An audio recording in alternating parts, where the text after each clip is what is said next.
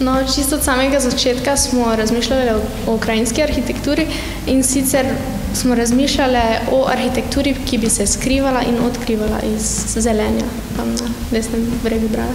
Ideja je nastala s tem, z zasnovo koncepta ogledala. Ne. Nasproti, nasproti lenta smo postavili eno dolgo ogledalo, ki, ki je v bistvu reflektivno steklo, ne, ki je od znotraj vidno in uh, odbija lent, se pravi, da, da nam zrcali nasproten, nasproten breg in s tem v bistvu tvori nek ambient oziroma odnos, vzpostavi odnos med obema bregovama.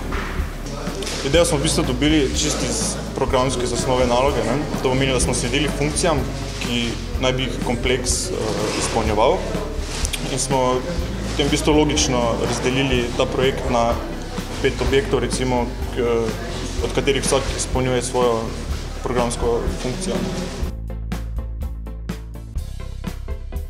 Ja, projekt smo, smo delali, mislim, da štiri mesece skupaj, od tega recimo zadnji mesec precej zgoščeno, no, oziroma zadnje tedne. Najtežje je bilo v bistvu ta koncept oziroma to programsko zasnovo uvrstiti noter v to želeno obliko. Sicer pri tem pol smo pač imeli tudi pomoč seveda asistentov in pa profesorja, tako da pol na koncu se v bistvu smo izpeljali do konca. Pravzaprav nekih večjih težav nismo imeli. Um, seveda pride vsakič pri vsaki um, pač načrtovanju do nekih težav, ampak smo to pač skupno pomočjo pač tima celotnega, tudi asistentov rešili nekak težave.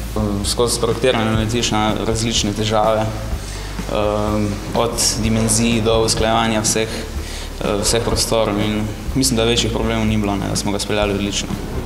Na začetku se je zdelo, da je mogoče naloga malo uh,